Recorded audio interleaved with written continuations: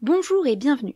La présentation que vous allez voir n'est pas vulgarisée. Il s'agit d'un oral fait durant la journée d'échange scientifique organisée par l'Université de Bordeaux et le laboratoire EPOC en avril 2018.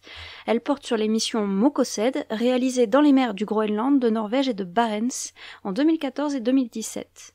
Elle présente donc quelques résultats préliminaires de la première année de thèse de Marjolaine Sabine, et pour en savoir plus et avoir des résultats complets et concrets, vous pouvez consulter les pages consacrées à cette thèse. Bon visionnage. Bonjour et bienvenue. Je me présente Marjolaine Sabine, actuellement en fin de première année de thèse à l'Université de Bordeaux au sein du laboratoire EPOC et financée par le service hydrographique et océanographique de la marine, le CHOM. Aujourd'hui, j'ai le plaisir de vous parler de ma thèse réalisée sous la direction de Frédéric Hainaut, Sébastien Zaragosi pour le laboratoire Époque et Élodie Marchès et Thierry Garland pour le CHOM, portant sur l'étude de carottes sédimentaires prélevées dans les mers nordiques.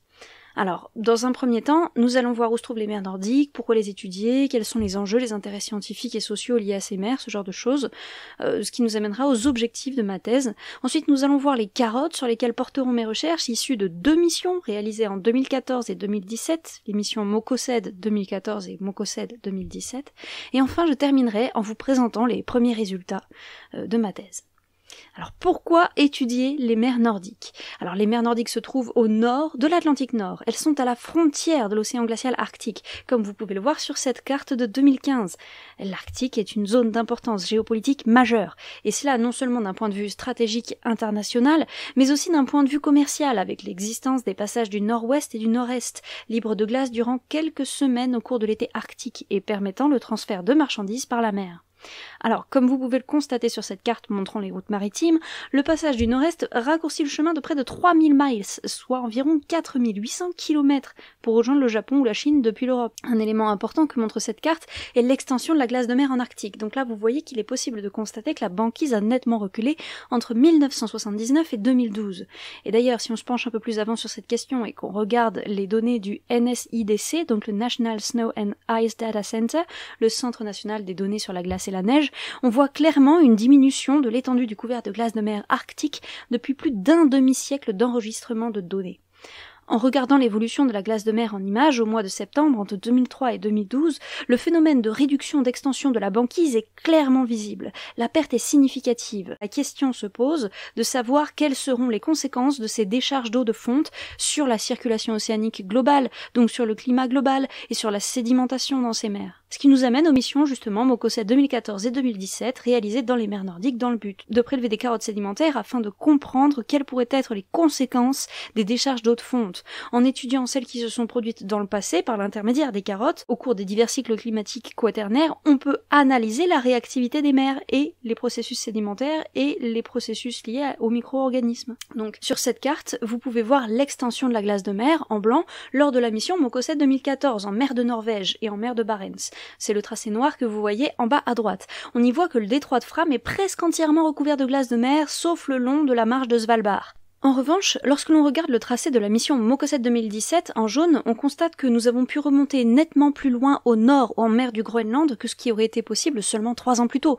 Pourtant, nous sommes montés à la même période jusqu'à la limite de la zone de formation de glace de mer cette année-là. Les mers nordiques se trouvent donc sous l'Arctique, en bas de la carte que je vous présente, ici encadrée en orange. Et si on zoome sur cette zone, on distingue bien la mer du Groenland, à l'est du Groenland, la mer de Norvège, au nord-ouest de la Norvège, et la mer de Barents, peu profonde, entre les Spitzberg et la Norvège. D'un point de vue structurel, des rides océaniques marquent le fond de ces mers. Ce sont des limites entre les plaques groenlandaises et eurasiatiques. La mer du Groenland et la mer de Norvège sont notamment séparées par la ride de Mons et celle de Knipovich.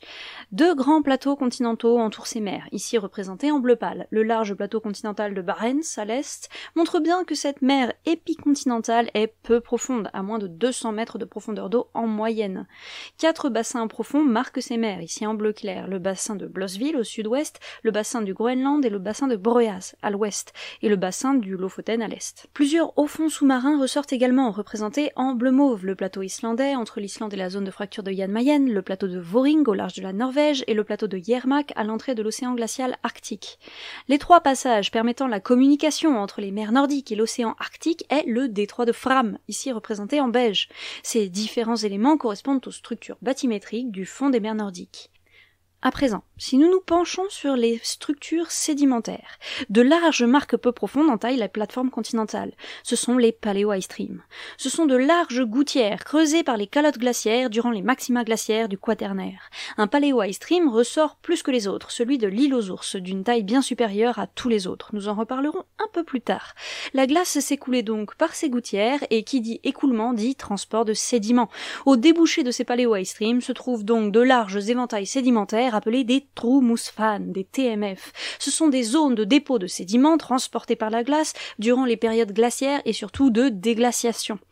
D'autres systèmes sédimentaires ont déjà été identifiés sur le fond, tels que les chenaux profonds donnant sur des lobes turbiditiques profonds. Ce sont des systèmes de chenaux levés euh, liés à des courants de turbidité et ou de gravité. Enfin, des glissements sous-marins ont été identifiés sur toute la marge norvégienne et sur la partie sud de la marge de Barents. L'absence de glissement identifié sur la marge groenlandaise ne signifie pas une absence de glissement dans cette zone, mais une lacune des connaissances. Maintenant que le contexte environnemental est posé, les objectifs de ma thèse prennent leur sens. Étudier au moins les derniers 80 000 ans, soit l'intégralité de la dernière période glaciaire et de la déglaciation ayant découlé sur l'interglaciaire actuel que nous sommes en train de vivre. Faire le lien entre les courants et la formation ou la fonte de glace de mer dans cette partie de l'océan. Quel impact la glace de mer a sur les courants marins, par exemple? Identifier la sédimentation de la zone et la caractériser en détail. Quel type de dépôt par les courants marins, dans quelle zone, quelle récurrence? Et position des avalanches sous-marines, des glissements, etc. Et regarder le lien entre les glaciers, la structure des marges continentales, des marges glaciaires et les apports de sédiments dans ces mers. Et pour cela, on a eu 31 carottes sédimentaires qui ont été prélevées durant l'émission Mocoset 2014 et 2017. Vous les voyez ici réparties dans les mers nordiques en fonction des structures sédimentaires déjà connues euh, par la bibliographie et la littérature.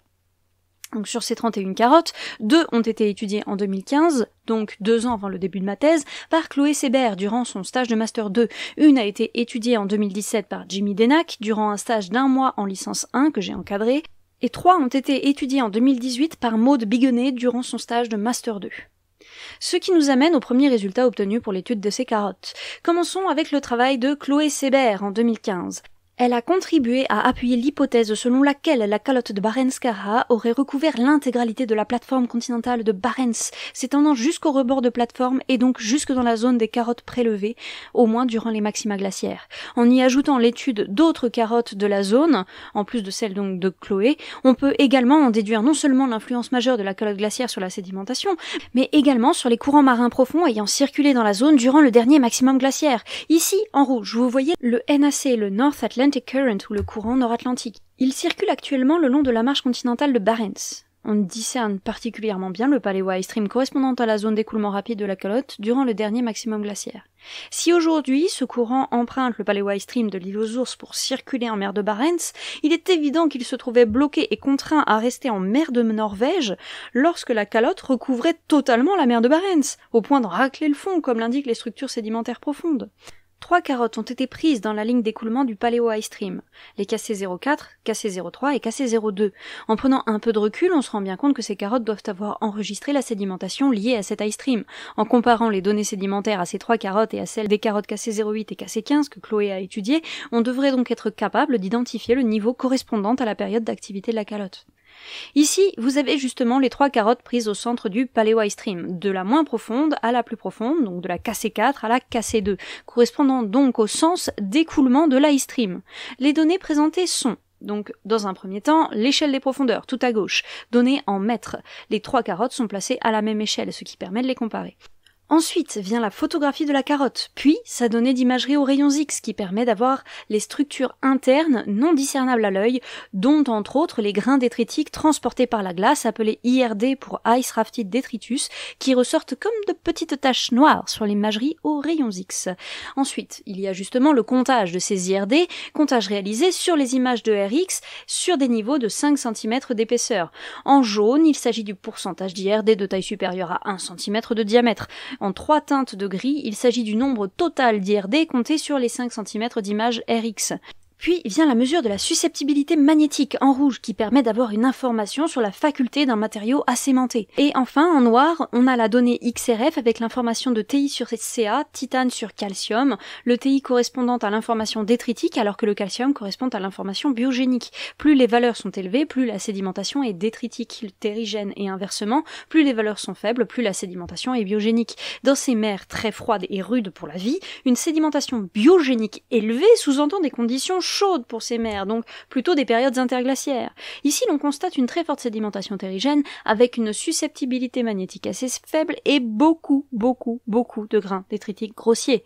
Ces trois carottes semblent avoir enregistré presque uniquement un faciès de diamicton, qui est un faciès typique des périodes glaciaires. Si l'on compare les données de ces carottes à celles des carottes KC15 et KC08, mais aussi à la carotte de référence MD95 2012, dont les données ont été validées par nos pairs dans des revues scientifiques alors on constate que ces carottes présentent des enregistrements similaires sur une zone en particulier à moins de 1 mètre de profondeur pour la KC8 et entre 1 et 2 mètres de profondeur pour la KC15. Ce niveau ici encadré en seconde position peut être assimilé à une sédimentation glaciaire et donc correspond probablement à la période d'intense activité du paléo ice stream de l'île aux ours. Cela permet une datation relative, stratigraphique donc, des sédiments de ces deux carottes. Des dates carbone 14 ont été réalisées sur ces carottes justement et il se trouve qu'elles donnent un âge de sédiments correspondant non pas au maximum glaciaire mais à la déglaciation.